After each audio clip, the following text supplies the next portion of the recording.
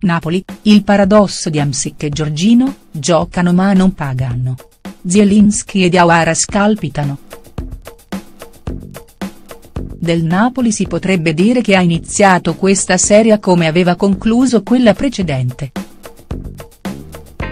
Vale a dire vincendo, numeri spaventosi in trasferta dopo la sconfitta sul campo della Juventus di fine 2016, sia di squadra, 10 vittorie e 2 pareggi esterni da allora, che dei singoli, fra gol e assist, Mertens sta viaggiando ad una media di partecipazione di un gol e mezzo a gara nelle ultime 28. Eppure non è tutto perfetto, anche se sembra esserlo, perché questo avvio, con la gara contro lo Shakhtar Donetsk in Champions League alle porte, potrebbe nascondere delle insidie inattese, basti pensare a quella che è la situazione a centrocampo per gli azzurri. Forse per la prima volta da quando c'è Maurizio Sarri in panchina, la certezza unica fra i giocatori da schierare in mediana è Allan, il cui momento di forma è straripante. Nei ruoli di mezzala sinistra e di mediano è lecito aspettarsi sorprese. I titolari in quelle zone di campo, lo sappiamo tutti, sono rispettivamente il capitano Marek Hamsik e Giorgino, due giocatori che nelle geometrie del tecnico toscano non sono fondamentali, di più. Due cardini del gioco dalle caratteristiche difficilmente reperibili sul mercato, tant'è che i sostituti naturali all'interno della rosa, vale a dire i più giovani Zelinski e Diawara, sono comunque elementi che portano qualcosa di diverso sia tatticamente, sia atleticamente, che tecnicamente. Dubbi sul terzetto titolare ne avremmo davvero pochi, se la situazione fosse ordinaria specie con un allenatore che pratica poco il turnover.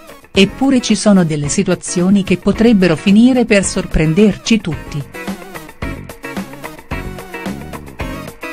Partiamo da quello che sarebbe il più incredibile fra gli esclusi, vale a dire lo slovacco.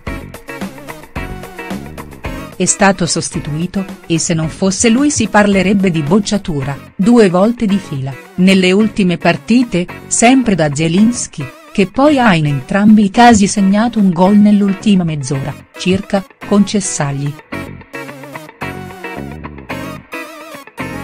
Non è una novità, per il numero 17 partenopeo, iniziare la stagione un po' col freno a mano tirato, vuoi per la sua struttura fisica, 183 cm x 79 kg non gli permettono di entrare rapidamente in condizione, vuoi perché nelle prime partite a tutti manca un po' di misura a livello tecnico, questo impedisce di tentare quei filtranti, quei tiri, quei cambi di gioco che lo hanno reso un punto fermo del Napoli.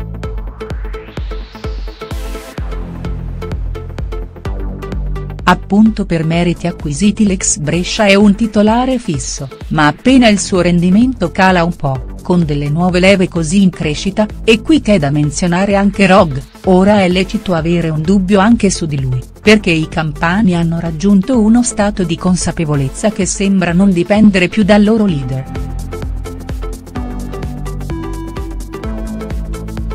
Per quello che riguarda Giorgino, invece, che è un'attenuante ben più netta. L'ex Hellas Verona aveva iniziato bene la sua stagione, dando qualità anche maggiore rispetto al solito alle sue solite geometrie e trovando la via del gol durante la doppia sfida contro il Nizza. Tuttavia, una botta subita in allenamento ha complicato il suo rendimento, tant'è che è rimasto in ballottaggio fino all'ultimo con Diawara, che poi ne ha anche preso il posto nell'ultimo quarto d'ora della sfida contro il Bologna. Il calo prestazionale dell'italiano, insomma, potrebbe essere facilmente riconducibile a questo calcione e nulla di più, almeno al momento.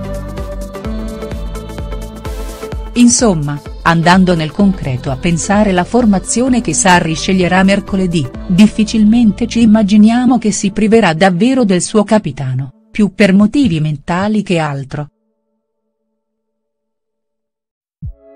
in Europa d'altronde tenersi concentrati per 90 minuti è fondamentale ed in questo Amsic non darà mai problemi. Per quanto riguarda Giorgino, realisticamente, andrà invece al ballottaggio, la sua condizione è al momento un punto interrogativo. La vera notizia, meglio ribadirlo, è che adesso le riserve suscitano davvero dei bei problemi al loro tecnico, anche riguardo i punti fermi della squadra. Nel lungo percorso stagionale, l'allenatore ex Empoli dovrà tenere conto un po' di più di loro nelle rotazioni.